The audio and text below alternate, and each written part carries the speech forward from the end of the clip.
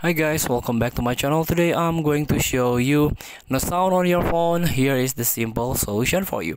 So if you have a if your phone damaged or your phone got into the water and the speaker is a damage defect there is no helping it you can go to the service center to a service your phone of course so but you can try to before you go to the service center you can try some solution.